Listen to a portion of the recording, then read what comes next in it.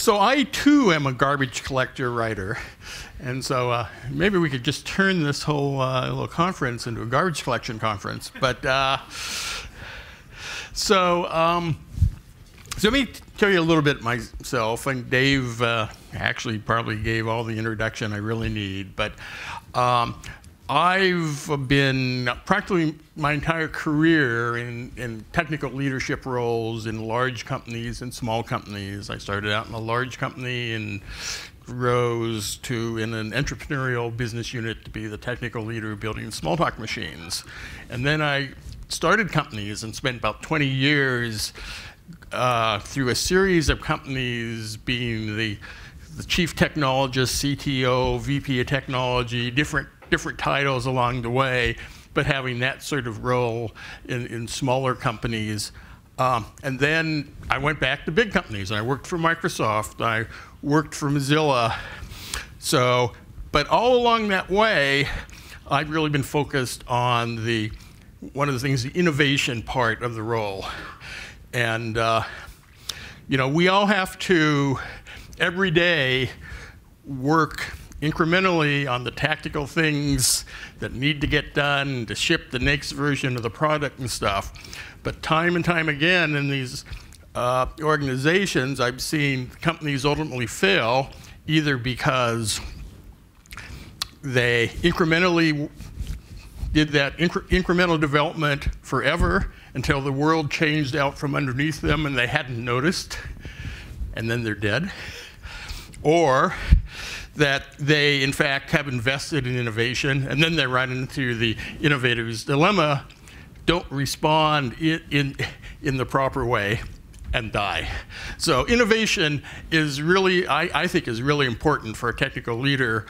And organizations at all sizes tend to look towards the person with the title of CTO, chief engineer, chief scientist, as, as the person to say, here is what we need to be thinking about doing in the long run.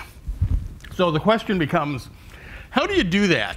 I mean, how do you get out there in front of what's going on and, and try to make some progress, get out from being bogged down from the incremental day-to-day -day development stuff? So uh, one way to do that, uh, quote, attributed to Alan Kay, is the best way to predict the future is to invent it. And so um, what I want to talk about here for the day is kind of what it means to try to invent the future. That's a very amorphous, nebulous thing. Is there any sort of concrete, actionable thing you can do there? And uh, one of the things that's particularly, I, I think this is important to me personally, is that in my career has spanned basically from vacuum tube computers. I was in high school. They were the, the, vacuum tube computers I was using was already obsolete. I'm not quite that old, but really from vacuum tube computers to writing the, the standard for today's most widely used programming language. Okay, so a huge difference over that. And I can guarantee you we wouldn't have gotten from point A to point B just by incrementally every year improving what was going on. So, uh, by the way, I, when Dave asked me to talk, one of the things I thought about was I could talk about here would be life after CTO.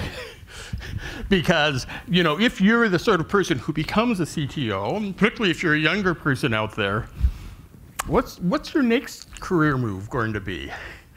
You know what? Yeah, you're and what size company you're in, and how's that evolve, and it's actually very interesting and complex. But that wasn't what I ended up picking to talk to you today. So, we talk about one of the things we want to talk about when talking about inventing the future.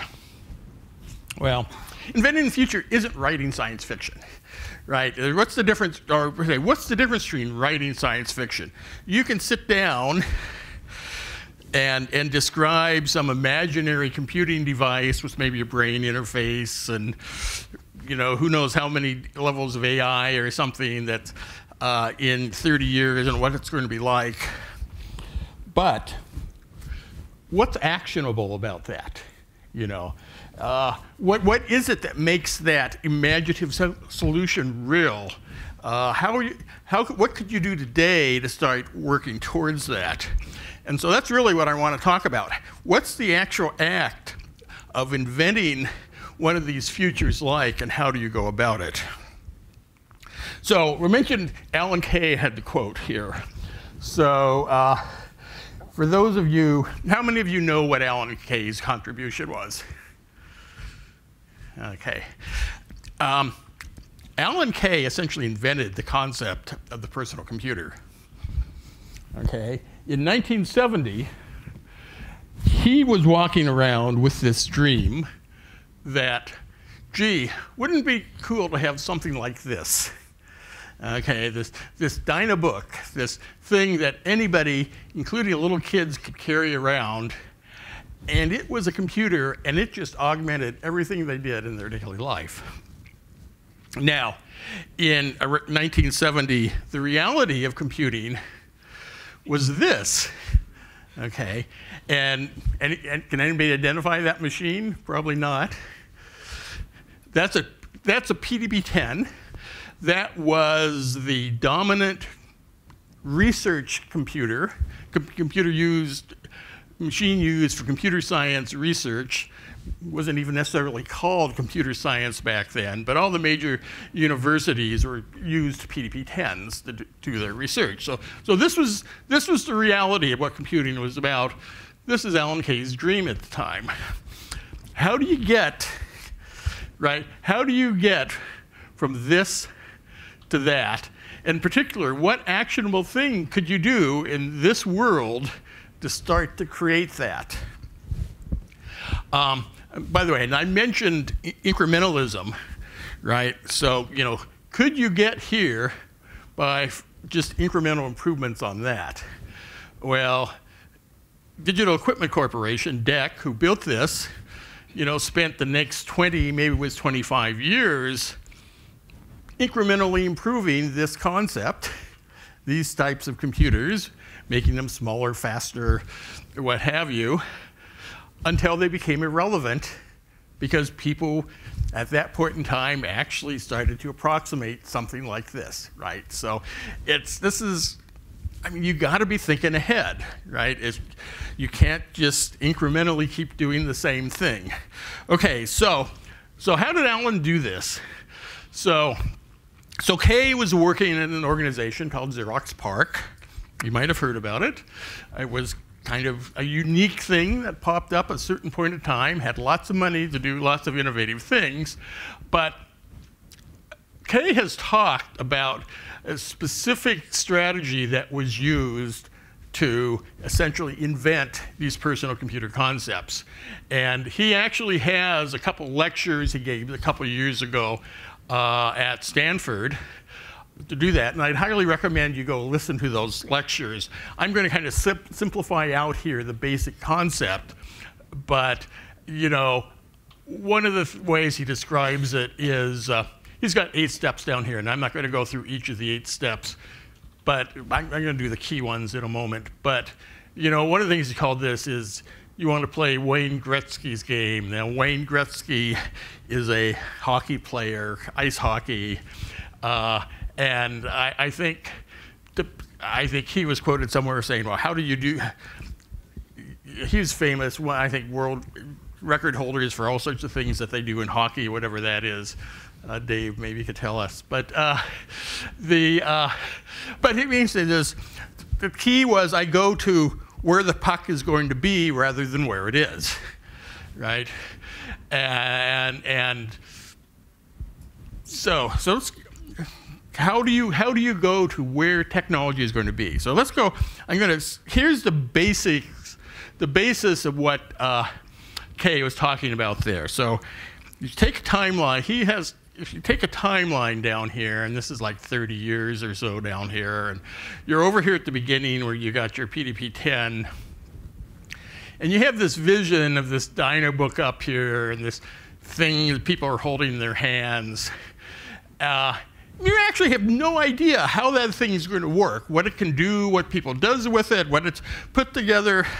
I mean, really, at that point, if this is all you have, you, what you have is science fiction right? So how do you take that science fiction view and turn it in, into something actionable?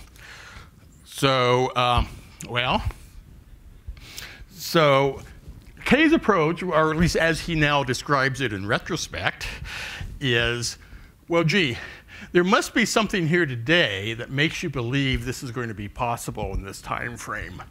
And it's not going to be linear because we know these linear steps, uh, these day-to-day incremental things aren't going to cause that sort of radical transformation to take place. So he says, well, there must be forces or factors that have an exponential character that's going to get you from here from where you are today to the science fiction world up there. And the first step is you try to identify what they are. Okay, so in the case of computing systems in 1970, well, Moore's Law was already on the board. Software innovation was happening. So you can imagine drawing an exponential advancement curve, you know, over that time period. And he says, okay, so we know there are going to be these exponentials, and um, we know that uh, uh, we don't know what we're going to have out there, but you know, one of the things about these exponentials, if you look at them, you notice is you go out halfway. Uh, so if the y-axis here, if you assume is something like the uh, technical sophistication of what's going on uh, of the of the um, the innovation curve. Well, you know, 15 years out, actually, you haven't gone up all that far from the beginning because most of the exponential growth is in the last half. Right? So we're saying, well, what if instead of trying to imagine what you have in 15 years, imagine what you might have in half that time.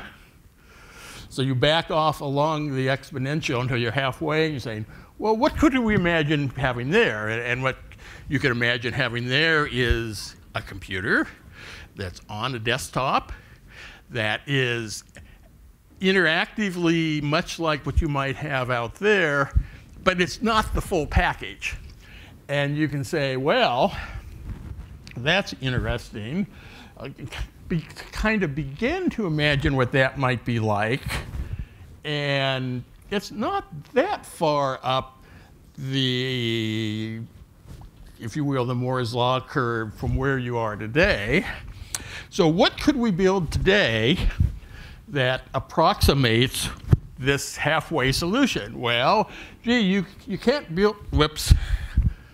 Uh, da -da. So you can't, you can't build this nice little box that has a well-developed uh, sense of what the UI is like uh, the start, but you can build, you can fit into a room the pieces you need, and you can put the display on the desktop, and you can start experimenting with forms of interaction and stuff. And by doing that, that's where the invention starts. You're saying, oh, sorry, I'm clumsy here.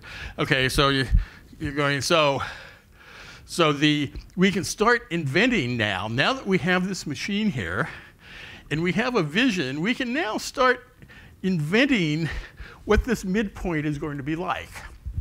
And that's what they did at Xerox PARC.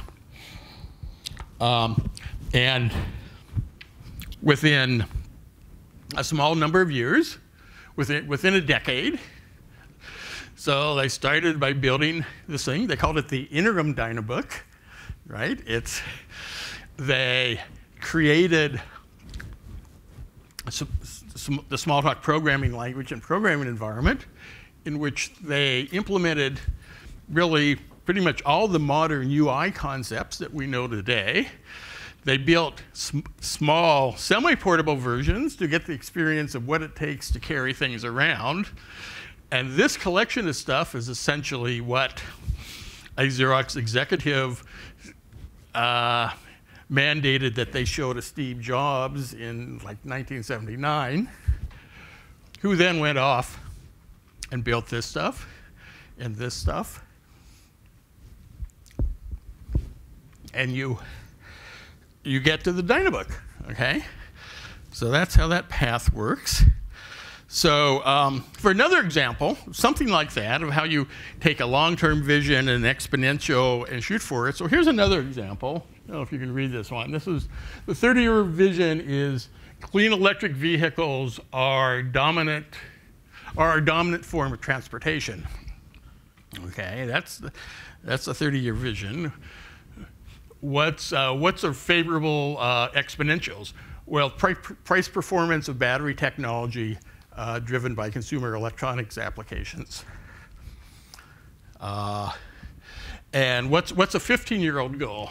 Well, there are actually cars. They may not be dominate, they, they, they may not dominate the entire uh, car industry, but there are actually successful mass market cars, electric cars of that nature. How do you get to that 15 year view? Well, here's, here's a plan.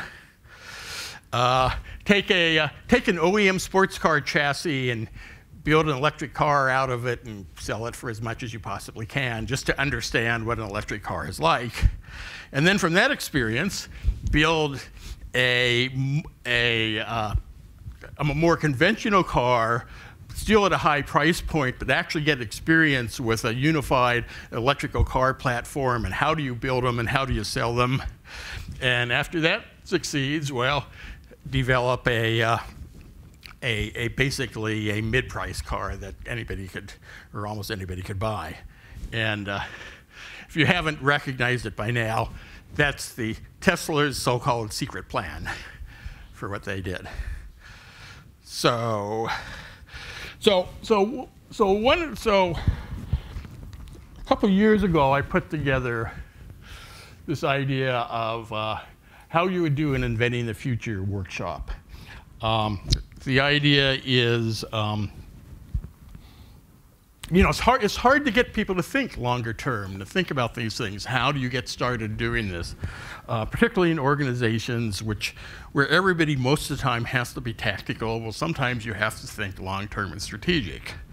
So, um, the idea of well let's let's do this exercise. Let's let's pretend to be alan kay. Let's pretend to be musk. Let's pretend to be me in my organization and think about projecting out long terms what it means for our organization.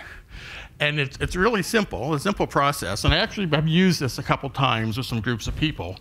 Uh, you start out saying okay figure out what your what your uh, what your vision is for N years out in the future. And 30 is probably too long for most organizations, but 10 or 5 is, is, is not a good value. And right, to make it actionable, it has to build on something. So, uh, well, can you identify some, some favorable ex, you know, exponentials that are going to uh, actually make that possible? If you can't identify anything that's different from the day, that's going to get you there, you probably aren't there, and you probably need to pick another vision. But so then you try to identify those. Now, back off half the distance. What's the midpoint you might do? And then say, okay, what could you do today, given what you have today, to build, to approximate or, or prototype, if you will, that, that, mid, that midpoint. And uh, so I use this first in a, a group uh, Singularity University is this organization in California that is promotes people thinking long term and long term innovation. And one of their programs is they bring in uh, every year a cohort of people from uh, developing companies around countries around the world and say, uh, okay, you're the future technical leaders in your countries, and you're going to bring change to your country. And so we're going to teach you Silicon Valley techniques for innovation, and you're going to go back to your countries and be successful. And they so they had a workshop with one of these group, group cohorts where I came down, and I basically ran this exercise through them and stuff. And you know what they, the feedback I got from them was, uh, "Wow, this is really cool," because we had these long-term ideas and uh, all the other classes I've been taking here are talking about raising money and how you manage things and stuff, but no one's ever actually told us how to take this, this, this vision and start to do something with it other than going out and raising money and finding advisors and doing stuff like that. So, uh, so it seemed to work really well for th those cohorts of people. So this is, I think this is a tool you might use in your organizations if you, you know, you have a group of people you want more long-term thinking, sit them down in an afternoon, go through a process like this and see what you come up with. A um, couple warnings from doing this. I always give people about well, it's just it's just an exercise, you know. Actually doing this for real and, and implementing it is it's going to take a lot of work. You know, you, you aren't going to get it done in an afternoon. Uh, and, and, it really isn't about you know thinking about the day to day what you're going to do. It's it's getting that vis- that actionable vision out there so that you can then intentionally decide whether or not you're going to invest resources in trying to get there. Um, and, and the other thing is, you know, what, what the Xerox PARC folks did, it wasn't cheap, right? If you're using today's technology to brute force an approximation of what you might have as a mass market product 10 years in the future, uh, that's, that's, not going to be cheap. It, it may be technically possible to do, but it's so you know funding exactly how do you fund this uh, is a question. And then the big thing is uh, I already mentioned this but 30 years is not going to work for most organizations. Most organizations don't have a lifetime of 30 years and stuff but so you need to pick a time horizon that's appropriate for yours. So um, that's, re that's really what was my goal here for the day was to kind of get you thinking about ways you, you know, a tool you might apply on the innovation side of your jobs. Uh, and um, I'll leave up here as we got a couple minutes to talk and answer any questions, but if you're interested in any more details, and I, would really recommend uh, listening to Kay's two uh, lectures to get his, you know, his version of the story.